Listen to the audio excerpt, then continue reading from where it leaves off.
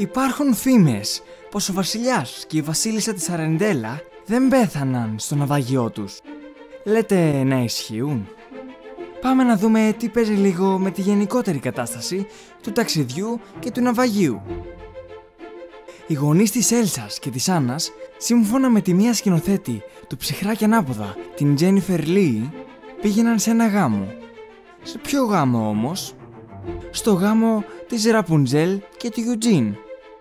Γι' αυτό το λόγο άλλωστε, ο Ιουτζίν και η Ραπουνζέλ εμφανίζονται την ημέρα της στέψης της Έλσας. Η ημέρα της στέψης είναι τρία χρόνια μετά το θάνατο των δύο γονέων. Και υπολογίζουμε με βάση τη δικιά μας χρονολογία την ημέρα της στέψης έχουμε 2013 καθώς το ψυχρά και ανάποδα κυκλοφόρησε το 2013. Πριν τρία χρόνια είχαμε 2010 όπου τότε βγήκαν τα μαλλιά κουβάρια. Ελπίζω να καταλάβατε τι θέλω να πω. Ας τα αφήσουμε λίγο στην άκρη αυτά και ας αναρωτηθούμε τι έγινε με το ναυάγιο. Πάμε να δούμε δύο θεωρίες που ίσως δίνουν μία απάντηση. Η Αρεντέλα βρίσκεται στην Νορβηγία, ενώ το βασίλειο της Κορώνα στη Γερμανία. Εμ, μπορώ να έχω ένα χάρτη; Ε, ωραία. Ανάμεσα στην Νορβηγία και τη Γερμανία βρίσκεται η Δανία, όπου στη Δανία βρίσκεται η Άριελ.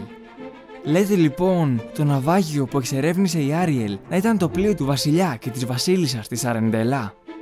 Χμ, μπορεί. Ας δούμε όμως τι έχει να μας πει και η δεύτερη θεωρία.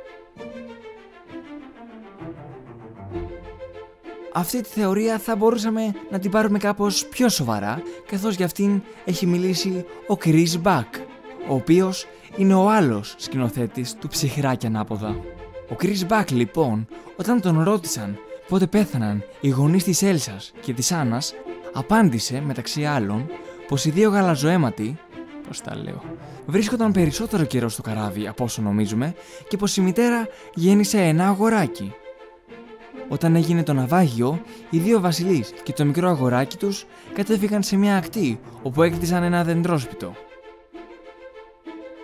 Τους γονείς τους έφεγε μια λεοπάρδαλη ενώ το παιδάκι το βρήκε μια γορίλας και το μεγάλωσε. Επομένως, ο Chris Buck υποστήριξε πως ο Ταρζάν, η Έλσα και η Άννα είναι αδέρφια. Αδερφέ! Τρέλα, έτσι. Να πούμε επίσης πως ο Chris Buck έχει σκηνοθετήσει και την ταινία του Ταρζάν. Γι' αυτό το λόγο ίσως να υποστηρίζει την παραπάνω θεωρία. Τέλος, ο Buck είπε Φοράω τη σέλα του Ρίκο! Φοράω τη σέλα του Ρίκο! Δεν το πιστεύω! Αστειεύομαι φυσικά. Και που λέτε, ο Μπακ είπε, λέω ό,τι θέλει να ακούσει ο κόσμος. Εάν θέλεις να συνδέσεις όλες τις ταινίες μεταξύ τους, τότε κάντο. Γιατί αυτό είναι το πνεύμα της Disney. Αυτά. Ελπίζω να σας άρεσε το βίντεο.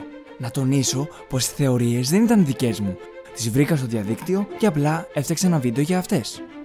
Ποια από τις δύο θεωρίες σας άρεσε περισσότερο; Τα λέμε σύντομα! Disney Fan GR Γιατί είναι ωραίο να μένεις παιδί